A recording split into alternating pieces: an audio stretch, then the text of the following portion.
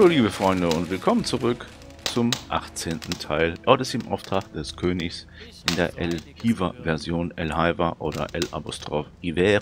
Ich weiß es nicht.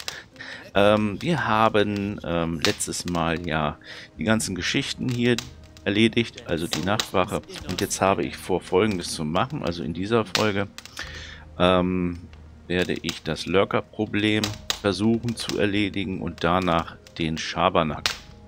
Schauen wir mal. Nur damit ihr schon im Voraus wisst, was ich machen will. Und äh, dann werden wir mal erstmal hoch in die Burg beamen. Nee, nicht ins Dorf. Die Burg, genau. Und Bruno von unserem Erfolg erzählen, dass wir also die Nachtwache erledigt haben. Denn ich bin der Meinung, dass Bruno auch noch eine Meldung braucht. Ah, schöne Mauer. Werke hier. Oh, ich weiß auch gar nicht, ob Bruno um diese Zeit da ist. Da wo er eigentlich immer am meisten steht. Jep, da ist er. Ne. Hey du! Wegen der Nachtwache, ja. Wegen der Nachtwache unten am Hafen. Ja, Waffenknecht Roland. Was hast du zu melden? Ich habe meinen Wachdienst am Hafen beendet. Gut. Und? Irgendwelche Vorkommnisse? Nichts Besonderes. Das Übliche, wie letzte Nacht. Verstehe. Sehr gut. Ich bin zufrieden mit dir und werde Oliver davon berichten. Das hört sich doch gut an. Das war doch schon vorher klar. So, Oliver wird davon erfahren. Hm. Sag nicht, das hast du Sollen wir jetzt zu. Oliver mal gucken? Ist er da irgendwie eventuell hier um Eck? Nee, doch, da könnte er stehen. Da ist er mal gucken. Ja, Ich habe alles erledigt, was mir Bruno aufgetragen hat. Schön. Dann soll es damit auch genug sein. Ich habe keine weitere Aufgabe für dich. Du kannst jetzt zu Marbot gehen und ihm sagen, dass du meine Prüfung bestanden hast. na, das ist doch klasse. Aber ich werde es anders machen. Bevor ich zum Marbot gehe, werde ich noch vorher die Lurker, wie eben angekündigt, erledigen. Das heißt, mal wieder ein bisschen Feuernesseln essen. Und äh, ins Dorf zurück und nach den Lurkern schauen. Und ab dieser Stelle werde ich mal überspringen und äh, im Hintergrund die Lurker erledigen. So, mitten im Gewühl bin ich jetzt hier. Habe schon einige Aternos-Lurker angelockt und erledigt. Ich bin jetzt hier in so einer Art äh, Ego-Perspektive. Sollte mich nicht mal hier verpissen. Und hier auf diesen Stein gehen. Na komm her. Genau, richtig. So.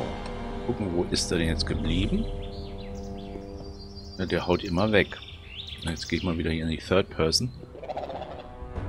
Ja, das ist der Trick. Und zwar gibt es hier eine Felsenformation. Da kann man hervorragend die Lurker eliminieren mit Pfeil und Bogen. Ähm, na, Nicht zu plündern. Oh. Da muss noch Da ist da nicht zu sein. holen. Nicht zu plündern. Runtergefallen. Nicht zu holen. Das. Also. Muss doch. Ah, hier. Da ist er versteckt. Er ist in die, in die Felsspalten gerutscht. Ja, so mache ich das und so werde ich das auch mit denen machen. So, dieser Bereich ist geräumt. Darunter war auch noch ein Wildschwein. Einen Apfel habe ich gegessen. Der hat mir noch plus 1 Stärke gegeben. Und da hinten höre ich doch noch was. Bloß, wo ist er? Na?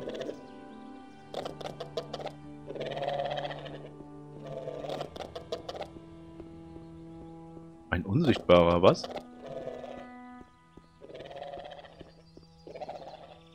Ziehen, mal gucken. Ne, hier ist keiner in der Nähe. Naja gut, okay, machen wir weiter. Ah, hier sind noch welche. Okay. Drei Stück. Oh, die mampfen gerade. Gucken wir mal, wie viel heute wir denn haben. Ähm, 26. Um die Quest zu erledigen, brauche ich noch vier. Also, werden wir noch vier besorgen. So, ich habe hier gleich zwei Stück.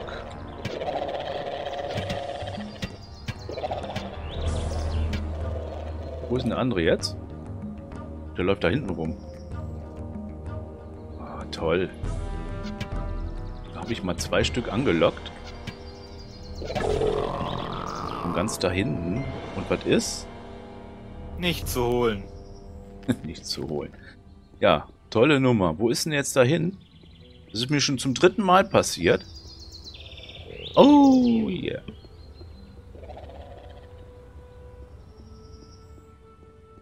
Oh, genau, richtig. Oh, dann machen wir mal weiter.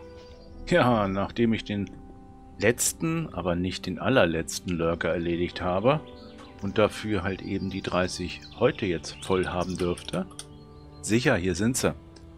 Werde ich mich jetzt mal zur Burg teleportieren. Und auch Marbot und Bruno nochmal erzählen, was los ist. Ah, das war ein langer Kampf, das kann ich euch sagen. Dann sind auch noch meine Pfeile ausgegangen. Das war nicht schön. Sag mal, was blut ich denn hier rum, ey? Das gibt's doch gar nicht. So, noch ein paar acht gebratene Fleische. Oh, Leute. Das wollte ich euch nicht antun, dass ich hier diesen verzagten Kampf da gemacht habe, dass ihr den noch mit anseht. Mann, oh Mann, oh Mann, ich sag euch. So. Und Bruno. Das ist eine schlimme Sache. Hey du. So, irgendwelche Neuigkeiten, mal gucken. Und? Sonst noch irgendwelche Neuigkeiten, Burghauptmann? Oh ja, die Disziplin. Okay, das kennen wir schon. Hier sind die verlangten... Ah ja, richtig. Noch von dem Seiyan, dem Magier. Hier sind die verlangten Heil- und Mana-Tränke. Sehr gut. Dann werde ich sie mal Oliver geben. Perfekt. Und alles in Ordnung? Oder fühlst du dich irgendwie schlecht? Im Gegenteil. Ich fühle mich so gut wie schon lange nicht mehr. So? Na, das scheint mir aber genauso verdächtig. Wer weiß? Vielleicht bekommst du nachher genauso starke Bauchschmerzen, wie sie Herbert gehabt hatte. Ich denke mal, dass es besser ist, wenn du den Schlüssel zu Seyans Stube erstmal behältst. Du hast doch nichts dagegen, wenn du auch in Zukunft die Heil- und Mana-Tränke bei dem Alchemisten abholst? Nein, überhaupt nicht. Ausgezeichnet. Ja, gut. Sehr klasse. Ähm, was gibt's denn noch? Bestärker und geschickter werden? Ja, das war das. Bis hierhin.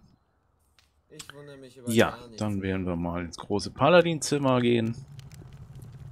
Und Marbot sagen, dass wir die Lurker heute haben und so weiter. Ich habe die 30 Lurker heute. Du hast was? Das ist ja unglaublich. Zeig her. Bei Innos tatsächlich. Nun denn, dann hättest du diese Prüfung auf jeden Fall bestanden. So, jetzt noch die Aufgaben von Oliver. Ich habe die Aufgabe, die mir Oliver gestellt hat, gelöst. Sehr gut. Damit bist du deinem Ziel schon ein ganzes Stück näher gekommen. Ja, klasse. Jetzt gucken wir noch mal ins Logbuch, was wirklich alles äh, erfüllt ist. Nachtwache, Heil- und Mana-Tränke, Fleischcoin für Jonathan, Heudiebe, Lurker-Problem ist auch durch. Ja, wie anfangs erwähnt, werde ich mich dann mal um die Schabernack-Geschichten, also um diese Erpresserbriefe kümmern. Da muss ich noch überlegen. Schmähzettel Nummer 11. Ach, da finde ich auch mal gleich einen. mal gucken. Schmähzettel Nummer 11. So, Schmähzettel Nummer 11. Ein Zettel, der mich lächerlich machen soll. Was steht denn da drin? Roland ist ein Faulpelz. Welche Schweine ihr. okay, also ich schätze mal, irgendwo in der Burg wird bestimmt noch mehr rumliegen. Ähm, gehen wir mal hier. Hey Oliver, was ist denn los? Ich dachte, er hätte einer der Schmähzettel von mir in der Hand. Das wär's gewesen, Leute. So, dann wollen wir mal gucken. Dass hier auch noch ein Schmähzettel gibt. Nummer 11. Es soll ja 12 geben. Hab ich mal gelesen. Vielleicht liegt hier auch noch einer rum, aber hier liegt was rum. Schmähzettel Nummer 3. Mal gucken, was drauf steht. Schmähzettel Nummer 3. Der Roland ist so dumm wie Stroh. Na, na, na. das glaube ich mal nicht. Roland ist so dumm wie Stroh. Das hat er wirklich nicht verdient. Liegt hier noch was rum? Ich habe was anderes gehört. Schmähzettel hier vielleicht im Regal? Nein. Die Probleme habe ich. Roland ist so dumm wie Stroh. Ich glaub's ja nicht. Wir hätten das alles geschrieben. Ich Oh, guck mal, Hinz und. Kunz. In dem Raum ist auch noch so ein Zettel. Schmähzettel Nummer 2. Mit Nummer 2. Nummer 3. Ach, da ist er. Ich hätte das anders Roland ist ein übler Schleimer. Voll der Kindergarten hier. das nicht Leute, Leute. Kindergarten nix. Ah. Ja Jetzt? Wo soll ich denn jetzt noch weiter suchen? Ja, dann suche ich mal weiter. Das hat er doch vorher gewusst. So, gucken wir mal.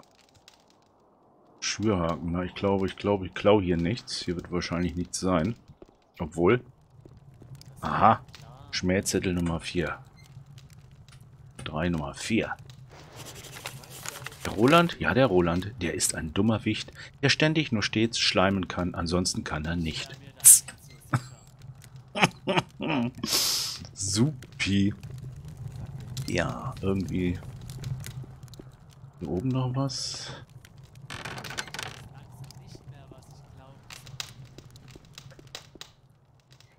Okay, auf dem Bett wird wahrscheinlich nichts liegen. Die Probleme habe Hier in der Küche, eventuell. Küche, Küche, Küche. Da! Nee, ist der Hocker, der nur ziemlich hell texturiert ist. Ah, jetzt ist man echt mal voll fixiert auf die Schabernackzettel, auf die Schmähzettel. So, ähm, schauen wir mal, ist hier oben einer drauf? Nein. Ja, da ist doch wieder was. Schmähzettel Nummer 5. Was steht auch da drauf? Ach, Roland Lein, du bist ja einer. So faul wie du ist keiner. Jetzt fängt sich das mal an.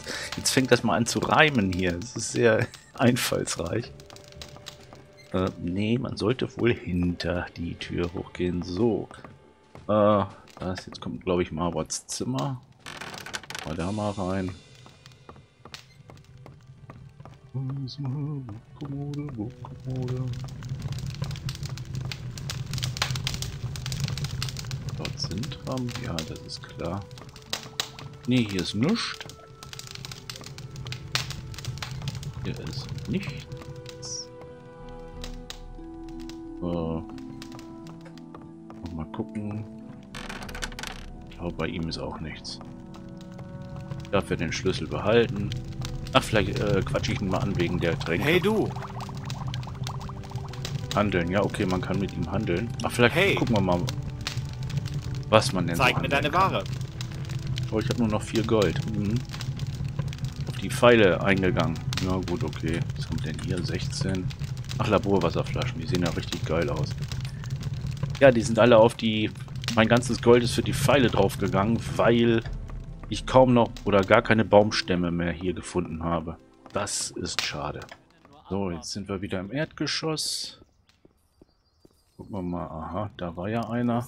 Ah, hier waren wir noch nicht. Im Weinkeller. Was ist das? Oh ne.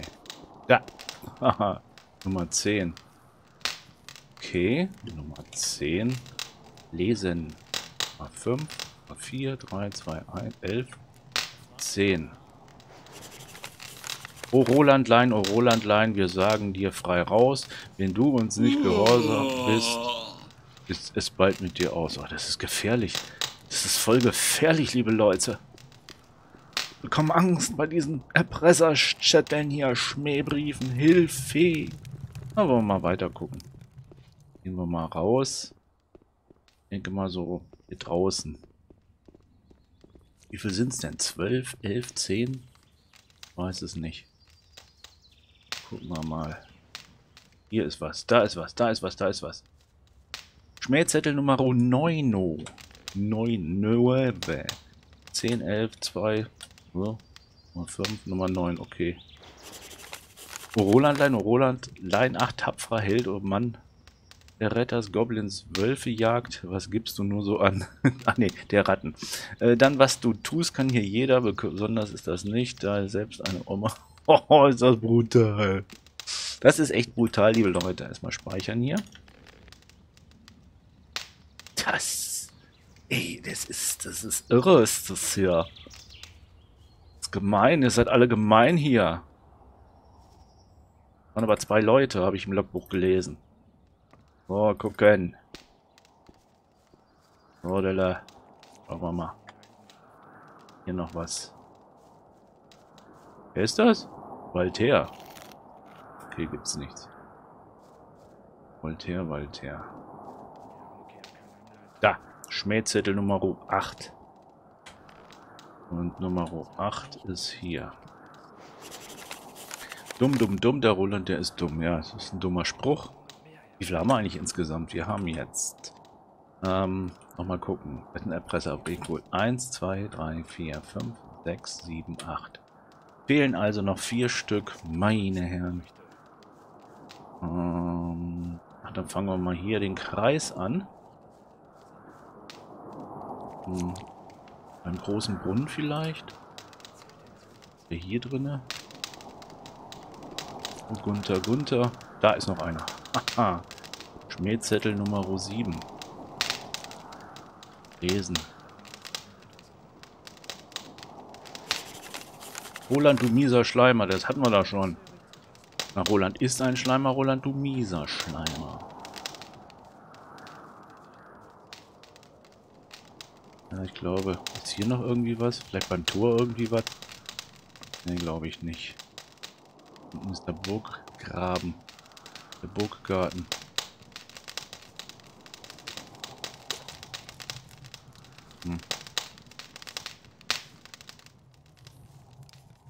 Irgendwie was versteckt. Gehe ich mal gleich nach oben. Auf die Mauer. Auf der Mauer, auf der Lauer. Ah. Da ist er. Nee. Das Leute, da konzentriert man sich echt auf die Zettel und dann hält man alles für einen Zettel, was auch nur so annähernd so aussieht wie so ein Zettel. Diesmal war es nur ein Sonnenstrahl, der aus dem, aus dem äh, Fenster schien. So. Gucken wir mal hier. Herrlichst. Gucken wir mal hier. Auch nichts. Aha. Ah, Oleg, hallo. Nicht mehr am Spielen. Wasserfass, ja, Wasserfass. So.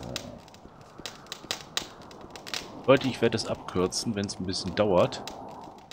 So, ich befinde mich gerade hier im Turm von Theodor, also wo Theodor nächtigt und sein Zuhause hat. Und da ist mir aufgefallen, aha, hier gibt es noch Schmähzettel Nummer 6. Den haben wir ja auch hier. Doof, doof, doof, der Roland, der ist doof. Was habe ich denn eigentlich ganze Zeit so umgeguckt hier. Das war ja Nummer 6, ja richtig. Also, jetzt haben wir 1, 2, 3, 4, 5, 6, 7, 8, 9, 10. Hey, hey, es fehlen mir nur noch zwei Stück. Okidoki. Jump. Sehr schön. So, dann werde ich mal wieder hier in diese Richtung gehen. Schauen wir mal, ob wir hier was finden. Zwei Stück. Also bis jetzt habe ich die ganz leicht und einfach gefunden. So. Aber wenn es zwölf sind, ist natürlich, desto weniger es werden, die Chance auch umso geringer, geringer den Rest zu finden. Nummer 1. Quest Schabernack. Das war's schon? Äh, Leute, wieso? Warum war's da schon? Zutaten, äh, äh, äh, Schabernack, ja. So, ich habe einen der Zettel gefunden, in dem man sich über mich lustig macht. Wer schreibt denn sowas? Okay, das haben wir gemacht. Ich habe elf Zettel gefunden, also doch elf. Okay, wo könnte der letzte sein? Vielleicht wieder auf meinem Bett. Ah, so, da. Und was steht denn in Schmähzettel Nummer 1 überhaupt drauf? Ist ja das hier, genau richtig. Ja, Roland ist doof, schön. Werden wir jetzt auch mal speichern. Sodele. Und dann geht's zu meinem Bettchen. So, gucken wir mal, ob denn auf meinem Bett noch ein letzter Zettel liegt. Ja, da ist er auch. Nummer 12. Klappt ja. Superklasse. Der Roland, der, äh, der ist... äh, ne, Moment mal. Der Roland, der im Dienst so müde stets und matt war, plötzlich jetzt der Erste, der, den man ausgebildet hat. Aha. Es wundert manchen Klugen hier, wie es nur möglich war. Der Roland macht Karriere, der faulste unserer Schar. Ja, und jetzt? Jetzt habe ich sie alle gefunden. Aha. Ich habe wieder einen der Zettel gefunden, in dem man sich über mich lustig macht. Wie erfahre ich nur, wer der Schreiber sein könnte? Das kann ja nur jemand aus der Burg wissen. Die Paladine sollte ich aber besser nicht darauf ansprechen. Ich werde mich besser nur bei unserem Koch, unserem Schmied und allen Waffenknechten erkundigen, die mir vom Namen her bekannt sind und ihnen den letzten Zettel zeigen. Nur Bruno werde ich lieber nicht fragen. Nachher meldet es Marbot wegen der Sache vermutlich ein großes Tamtam -Tam machen wird. Dann werde ich nie erfahren, wer der Schreiber der Zettel ist. Oha, oha. So, auf. Mal mir die bekannten Waffenknechte mal fragen oder durchgehen. Der, der ist nicht bekannt. Das heißt also, nur die Leute, die Namen haben. Wieder so ein unbekannter Waffenknecht hier. So. Naja, Hinz und Kunz. Mal gucken. Na, wie sieht es aus? Wie sieht es aus? Keine Ahnung. Frag besser Hinz. Okay, okay. Ja, Bruno soll ich es nicht erzählen. Mal gucken, Hey, du. Ralf. Irgendjemand hat sich einen üblen Scherz erlaubt. Irgendjemand hat sich einen üblen Scherz mit mir erlaubt und diese Zettel geschrieben. Hast du eine Ahnung, wer dahinter stecken könnte? Nein, habe ich nicht. Schade. Aber es kann doch nur einer der Waffenknechte sein. Oder nicht? Ja, sehr wahrscheinlich. Okay. Er konnte mir nicht weiterhelfen, das war natürlich klar. Ralf konnte mir leider nicht weiterhelfen, er vermutet aber wie ich, dass es jemand der Waffenknechte sein muss. Das heißt also, weiter auf die Suche. Ja. Hinz hatten wir gefragt, Kunz. Hey du, Nee, auch nix. Hinz gefragt. Ach doch! Den hatte ich ja eben gefragt. Ich habe nur ihn hier nicht gefragt. schau dir mal diesen Zettel an. Hast du eine Ahnung, wer dahinter stecken könnte? Hm, Keine Ahnung. Frag besser Kunst. also, wieder die beiden. Hey. Dann schau du dir mal diesen Zettel an. Hast du eine Ahnung, wer dahinter stecken könnte? Da fragst du besser Hinz. Äh, soll das so weitergehen? Nö. Okay. Kleines Gimmick. cool. So, Flynn. Hey. Schau dir mal diesen Zettel an. Hast du eine Ahnung, wer dahinter stecken könnte? Nein, habe ich nicht. Und glaub ja nicht, dass das alles ist. So, er auch nicht. Gunther? Hey du, Wenzel. Ich brauche deine Hilfe. Irgendjemand hat sich einen üblen Scherz mit mir erlaubt und diese Zettel geschrieben. Hast du eine Ahnung, wer dahinter stecken könnte? Tut mir leid. Ich habe keine Ahnung. Schade. Mir brauchst du das nicht zu sagen. Okay, Wenzel weiß es auch nicht. Dann fragen wir mal Gunther. Irgendjemand hat sich einen üblen Scherz mit mir erlaubt und diese Zettel geschrieben. Na, so ein Pech aber auch. Hast du eine Ahnung, wer dahinter stecken könnte? Nö. Aber was stellst du dich nur so an? Nur ein kleiner Spaß unter Kameraden. Er stellt sich das immer so einfach. Ja, freundlich ist er auch nicht hier. Ralf, Hey, hör mal auf hier. Man erzählt sich ja so einiges. Ach so, Na, sorry. Ralf sagt dazu nichts. Waffenknecht, Waffenknecht. Da war ich schon. Erzählt sich ja so Mhm, einiges. mhm, mhm. Keiner. Mal schauen wir mal hier ins. Ja, da, äh, das ist auch doof.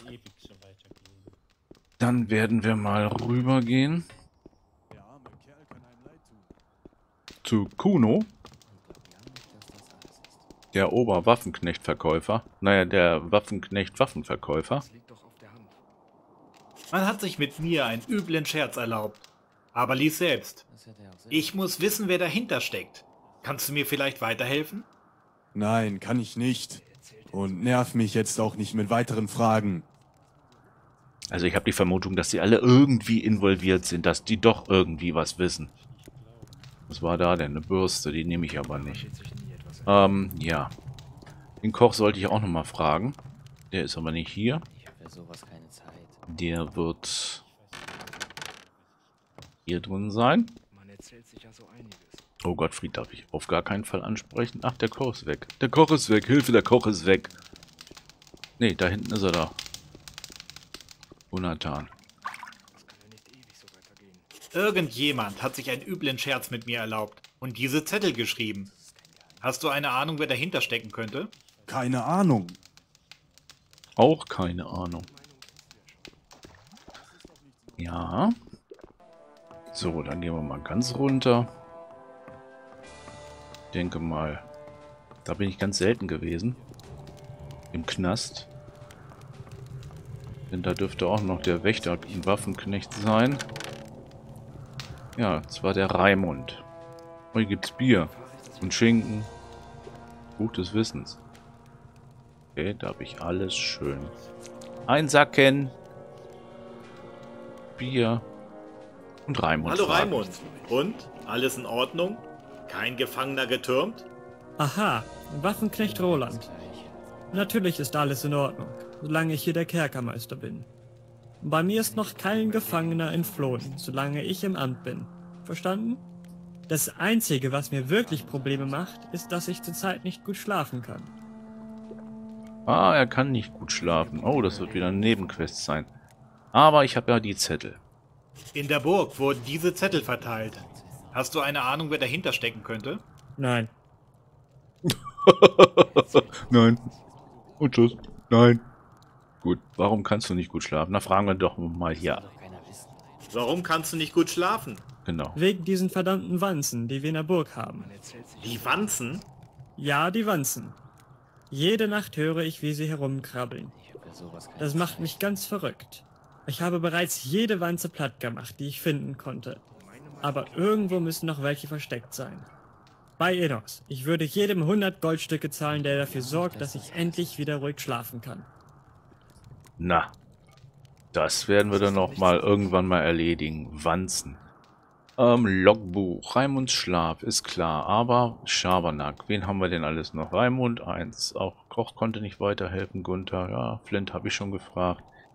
Gut, weiter geht es. Richtung Theodor.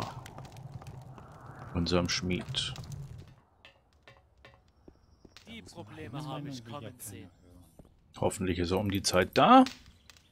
Ah ja, fleißig bei der Arbeit. Der Theodor. Hey du. Man hat sich mit mir einen üblen Scherz erlaubt. Aber lies selbst. Hast du eine Ahnung, wer dahinter stecken könnte? Leider.